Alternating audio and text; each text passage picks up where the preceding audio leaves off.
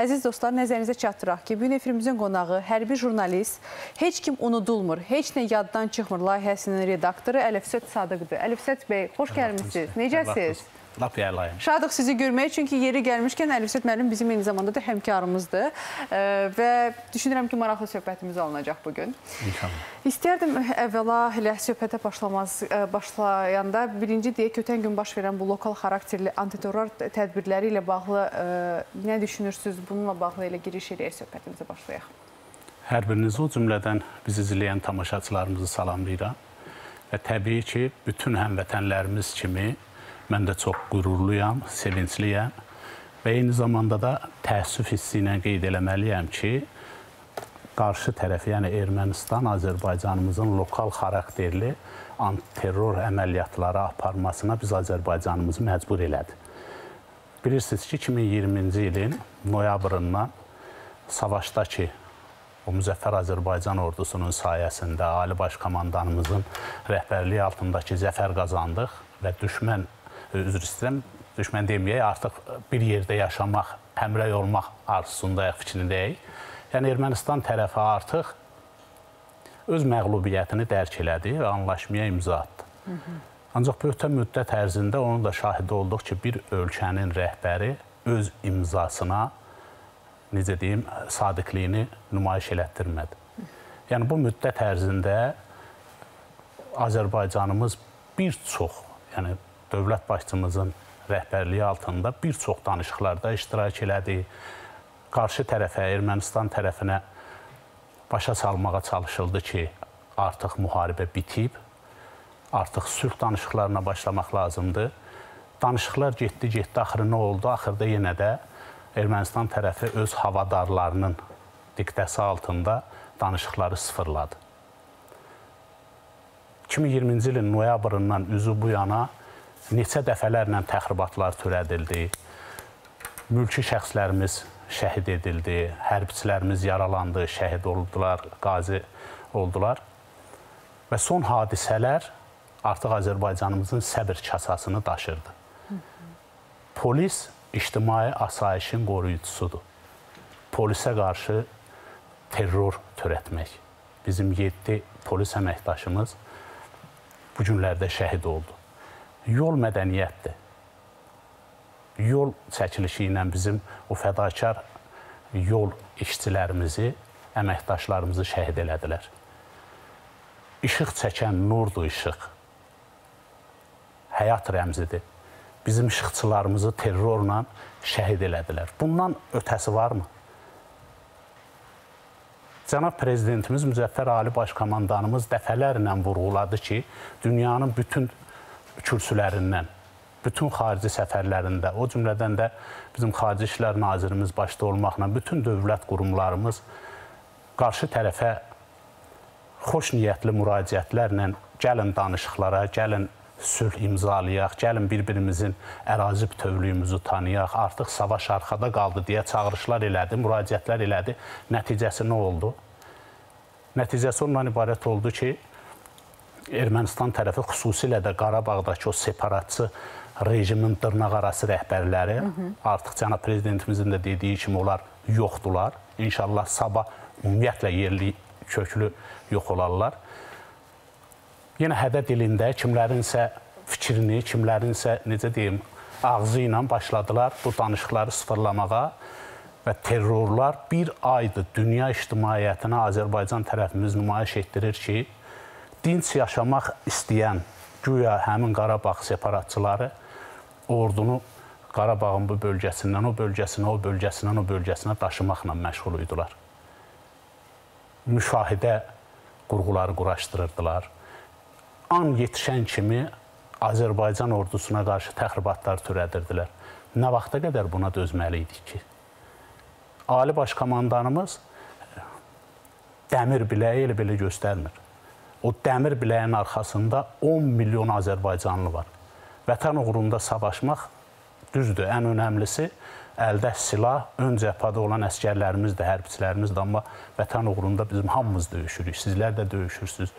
Bir qədər öncə bizim qəhrəman neftçilərimizlə bağlı gözəl bir material təqdim olundu. Neftçilərimiz də döyüşür. Artıq Azərbaycanımız o gücə sahibdir ki, 7-dən 77-yə vətən uğrunda canını fəda edən bir məmləkətin evlatlarından ibarətdir Azərbaycan.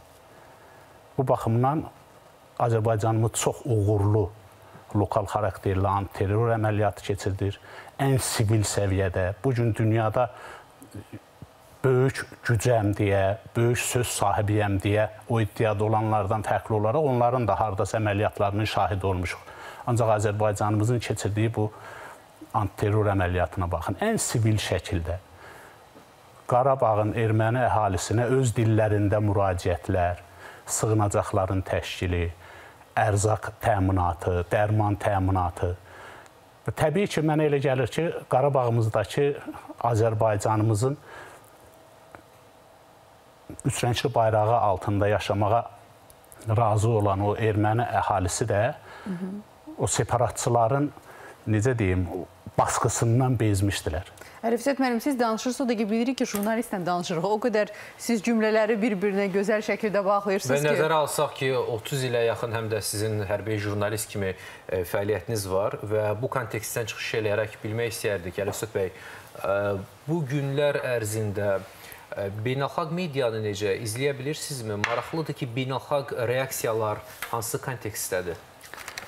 Təbii ki, biz bilirik ki, haqlı olan güclüdür. Amma dünyanın son proseslərində güclünün haqlı olmağa, yəni haqlı olduğunu bir növ dünya ictimaiyyətinə sırmağa çalışanlar da var. Ancaq Azərbaycanımızın haqq işində bəlli qardaşlarımız var, dostlarımız var. Onlar həqiqəti qeyd eləyirlər və mənim üçün çox maraqlı bir məqamı qeyd eləmək istəyirəm. Artıq Ermənistan mətbuatında ə, e, sosial şəbəkələrdə fəal olan blogerlər belə Azərbaycanın ə, e, Qarabağ bölgəsində ə, e, lokal xarakterli antiterror əməliyyatının bu tədbirlərlə bağlı yüksək qiymətləndirirlər və özləri öz dilləri ilə qeyd eləyirlər ki, Azərbaycan o qədər peşəkarcasına bu əməliyyat aparır ki, ancaq hərbi obyektlər və yaxud da deyək ki, e, hərbçilərin istifadə elədikləri Aydındır. onlardan istifadə olunur. Əlifşət bəy, mən istəyərdim ki, indi keçək ə, e, heç kim unudulmur layihəsindən. Biz bilirik ki, ümumiyyətlə ə, e, yəni ki, insan vətəni üçün nəsə eləyəndə onun ən böyük qazancı mənəvi qazancı olur. Çünki sanki bir missiyasını həyata keçirmiş olur. İnsanın içi dolur, mənəviyyat artır. Bax, sizin bu layihəni necə, bu ideyanın yaranması haqqında istəyərik danışaq. Sizin sizə bu layihə bir insan kimi, bir şəxsiyyət kimi nə verdi? Qeyd edeyim ki, bu layihə ictimai televiziyada xeyli müddətdir davam eləyir və məndən əvvəlcə bu layihədə iştirak edən ictimai televiziyanın bütün həmkarlarına öz minnətdarlığımı bildirirəm. 2020-ci ilin Vətən müharibəsindən sonra, yəni mart ayında mən də artıq bu layihəyə qoşuldum redaktor olaraq və bu müddət ərzində, yəni mənim işlədiyim dövrdə 80-dən artıq, ancaq ondan əvvəl e, bizim e, rejissorumuz Elmar Oruc, prodüserimiz Əlağa Əliyev, operatorlarımız Emin Rəhimov, Etibar. Yəni bunlarla bir yerdə artıq 100-dən artıq filmlər işlənib hazırlanıb. Və bu filmlərin hazırlanmasının e, bir yaradıcı heyət olaraq bizə o qədər böyük mənəvi təsirləri olub ki, Hı -hı. və təbii ki, e, biz istəmərik ki, analar ağlasın, e, ataların, evlatların qaməti boynu bükülsün, qız gəlinlər sızlasın. Yəni heç bir e, sivil insan e, savaş istəməz. Ancaq biz nə edək ki, biz öz ocağımızda, öz evimizdə, öz məmləkətimizdə bu dəyərləri qorumaq naminə məcburuq savaşmağa.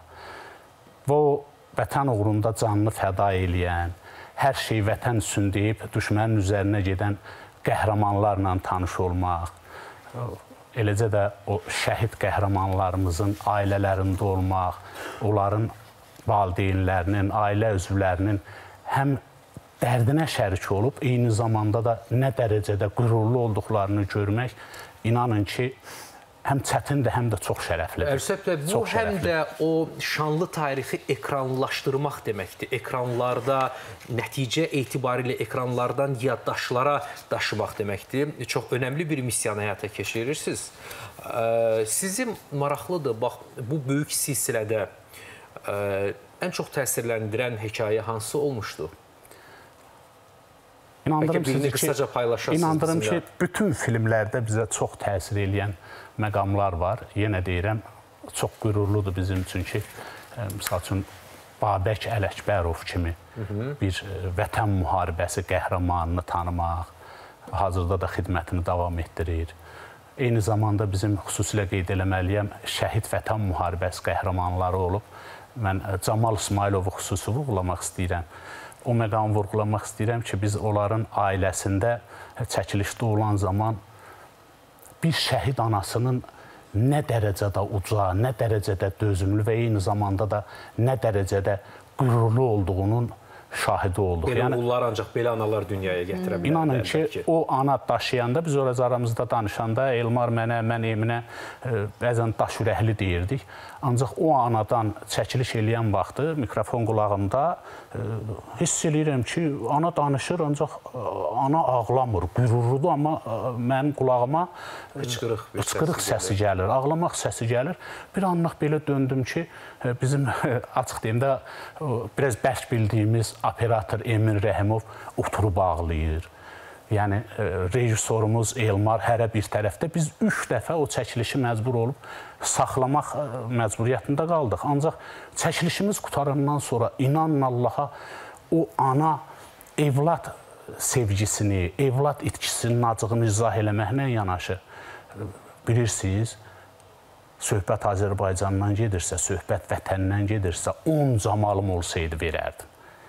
Bu söz ancaq mənim analarıma məxsusdur. Bu söz ə, körpə 4 yaşında körpəyə atasının şəhid olduğu məqamda bayraq təqdim eləyirlər bizim generalımız.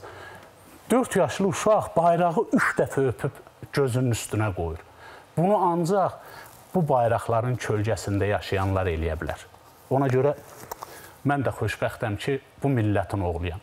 Yeri gəlmişkən bax o iki igid oğullarımızdan belə deyək, haqqında o belə qürurla danışdığımız oğullarımızdan daha ikisi yaxın dəqiqələrdə bizim proqramımızda qonaq olacaq və əminəm ki, o sizin bu gün danışdığınız məğrurluq notlarını bir qədər sonra da məs igid Azərbaycan oğulları, o anaların dünyaya gətirdiyi daha iki oğul bu studiyada davam etdirəcək. Təşəkkür eləyirik. Minnətdaram elə o iki qardaşımız ki, məndən sonra istafət olaraq keçəcək. Onlara da minnətdarlıq eləyirəm ki, bizim filmlərimizdə onlar da o döyüş yoldaşlarının Ha, keçdiyi döyüş yolları Ha, barəsində bizə gözəl. fikirlərini çatdırıblar və o filmlərimizin hazırlanmasında əllərindən gələni eləyiblər. Təşəkkür edirik Əlifsət müəllim.